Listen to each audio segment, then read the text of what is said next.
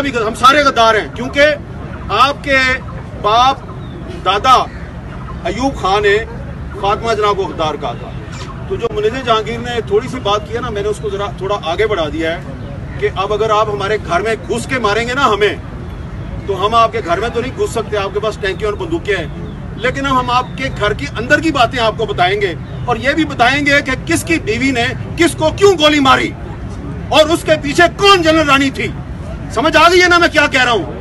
अब अगर आइंदा किसी साहबी के घर में घुस के तुमने उस पर तशद किया, हम बताएँगे कि तुम्हें तुम्हारी बीवी ने गोली क्यों मारी? बस इतना ही बताना था। आजकल, आए रोज क्या करते हैं जी? वीडियोस बनाते हैं। वीडियोस बनाकर डाल रहे हैं कि आओ, मुझे गिरफ़्तार करो और उसी गिरफ्तारी की दावत देते हुए हामिद मीर ने एक और वीडियो बनाई है। पहले आपको मैं वीडियो दिखाती हूँ, फिर आगे जाके मजीद बात करती हूँ। रजा, ये जरा क्लिप चलाइएगा हामिद मीर साहब मजीद, जो मीर साहब हैं, वो मजीद क्या फरमाते हैं? हामिद मीर साहब के झूठ बोलने से मुल्क की, क्या कहते हैं? खिदमत नहीं हो सकती। और हामिद मिर साहब, आप इतनी वीडियोस बनाकर डाल रहे हैं, अगर एक वीडियो आप मज़ीद बना लें और अपने उन इल्ज़ाम पर माफ़ी मांग लें, जिनके बुनियाद बनाकर जियो ने मुल्क के हसास इदारे के ख़िलाफ़ जहर उगला तो बड़ी मेहरबानी ना होगी आपकी।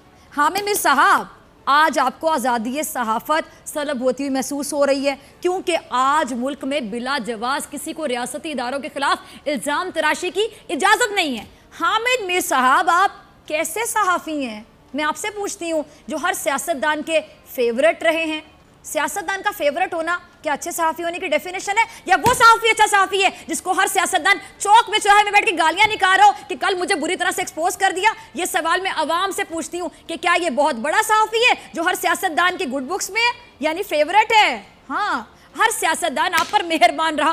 कैसे? पूछ सकती हूँ मीर साहब। जरदारी साहब हो या फिर नवाज़ शरीफ साहब, दोनों आपको बहुत पसंद करते हैं। क्यों? वजह बताएँगे आप। शायद यही वजह है कि आज जब ये दोनों जेल में हैं तो आपको अपनी आज़ादी सहाफ़त ख़तरे में नज़र आ रही है, अंधेरे में नज़र आ रही है। मुल्क में क्या सिर्फ़? आप ही एक सहाफ़ी हैं, या फिर आपके वो जो हम ख्याल सहाफ़ी, जो नून लीग और पीपल्स पार्टी का बयानिया फ़रोख करते रहे, अपना ज़मीर बेच के, कलम बेच के, वो सहाफ़ी हैं।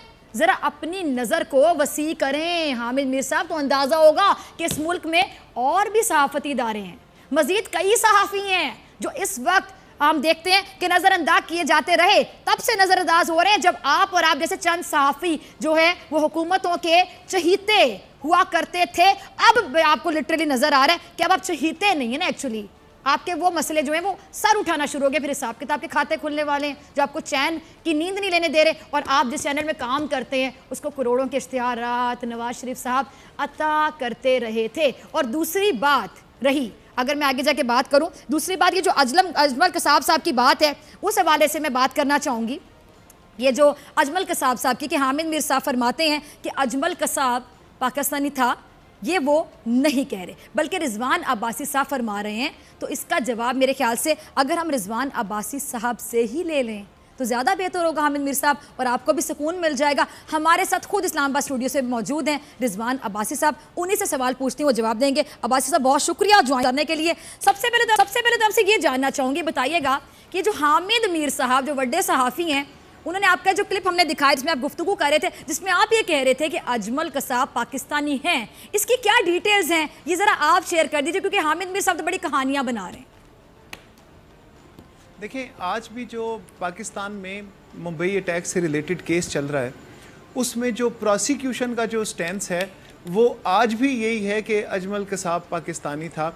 यहाँ पे जो प्रोसिक्यूशन चल रही है, जो लोग जेल में हैं और उनकी हद तक और जो अजमल कसाब से वो जो इंडिया से डॉक्यूमेंट्स आए तो इधर जो एफआईए वालों ने अपनी इन्वेस्टिगेशन करके रिपोर्ट सबमिट करके, जो स्टेंस लिया अजमल कसाब के हवाले से, वो यही लिया कि वो पाकिस्तानी था। लेकिन अल्हम्दुलिल्लाह, हम ड्यूरिंग ट्रायल एविडेंस के बाद ये साबित करने में कामयाब हो गए हैं कि अजमल कसाब का पाकिस्तान से कोई ताल्लुक़ नहीं था।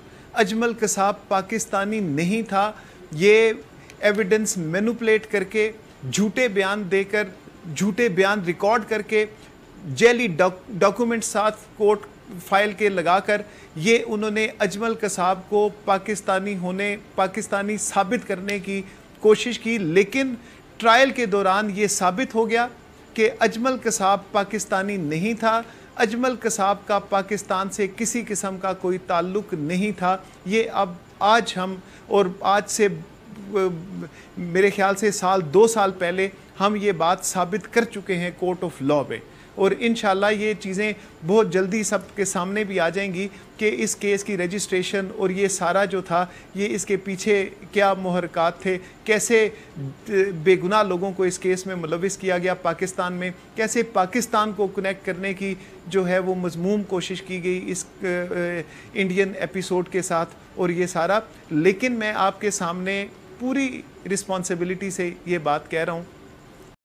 दोस्तों, ये वीडियो यहाँ पर होता है ख़त्म। आप यहाँ से ये वीडियो छोड़कर जा सकते हैं। तो आप सुन रहे थे पाकिस्तान की एक बड़ी ही मतलब पाकिस्तान की मीडिया में ये राखी सावंत का मतलब ये इनको अवार्ड मिलने, मिलना चाहिए मेरे हिसाब से। तो ये बकबक कर रही थी जो हामिद मीर अभी बात कर रहे थे। आपने हामिद मीर का एक स्टार्टिंग में क्लिप सुना होगा। ये उनका दो दिन पहले एक रिएक्शन आया था पाकिस्तान की आईएसआई और पाकिस्तान की आर्मी ने पाकिस्तान के एक पत्रकार को बहुत बुरी तरह से पीटा, क्योंकि वो बलूचिस्तान और इन मतलब जो सिंध वगैरह में जो चीज़ें चल रही थी, उनके बारे में सच लिखता था। उस वजह से वो पिट गया। हालाँकि पाकिस्तान आर्मी ने पीटा यही बहुत मतलब छोटी बात है, उन्हें तो मार देना चाहिए, क्योंकि इनका ट्रैक रिकॉर्ड ऐसा ही कुछ है। तो हामिद मीर ने उसको लेकर बहुत बड़ी बड़ी बातें कर दी। हामिद मीर, आप जानते हैं, पाकिस्तान के बहुत बड़े पत्रकार हैं, और ये वो पत्रकार हैं जो ओसामा बिन लादेन का भी इंटरव्यू ले चुके हैं, और ये वो पत्रकार हैं जिन्हें कराची में एक बार गोली भी मारी गई थी, और ये गोली मतलब लगने के बाद ज़िंदा भी वापस आ गए थे। हालाँकि इनके विरोधी कहते हैं कि इन्होंने गोली अपने ही किसी साथी से मरवाई थी फ़ेमस होने के लिए, लेकिन गोली सही में मारी गई थी। तो गाइस पाकिस्तान की आईएसआई पाकिस्तान की पाकिस्तान फौज को खुलकर हामिद मीर ने स्टार्टिंग में धमकी दी है कि हम ऐसे ऐसे राज खोल देंगे पाकिस्तान की बीबियों जो गोली मरवाती हैं, इस तरीके के राज खोल देंगे। हामिद मीर ने इस तरीके की कुछ बातें बोली हैं।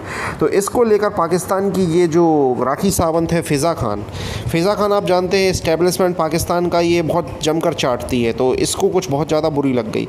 और ये कुछ अजीब तरीके की बातें करने लगी और यहाँ पर यह हामिद मीर को अट सट्ट बोलने लगी। आपको बता दें कि फ़िज़ा खान ने यहाँ पर एक शब्द यूज़ किया, कसाब। कसाब, अजमल कसाब साहब को हामिद मीर ने इंडिया में इनका जो इंडिया में पकड़े गए थे, इनका पाकिस्तान, पाकिस्तानी ने बताया, पाकिस्तान में इनका घर दिखाया। मतलब फ़िज़ा खान इंडायरेक्टली ये बोलना चाहती है कि अजमल कसाब था, वो इंडियन ही था। अब आप समझ सकते हो उसकी क्रेडिबिलिटी सारी दुनिया को पता चल चुका, अजमल कसाब का वहाँ पे प- ख़ानदान मिल गया, घर मिल गया, सब कुछ मिल गया, और ये अभी भी उसी मतलब उसी फेक न्यूज़ पर अटकी हुई हैं, जो पाकिस्तानी ने ही शुरू की थी। तो गाइज़ ये वीडियो यहाँ पर होता है ख़त्म। आपको ये वीडियो कैसा लगा प्लीज़ कमेंट बॉक्स में लिखा चैनल को सब्सक्राइब करें, वीडियो को लाइक करें।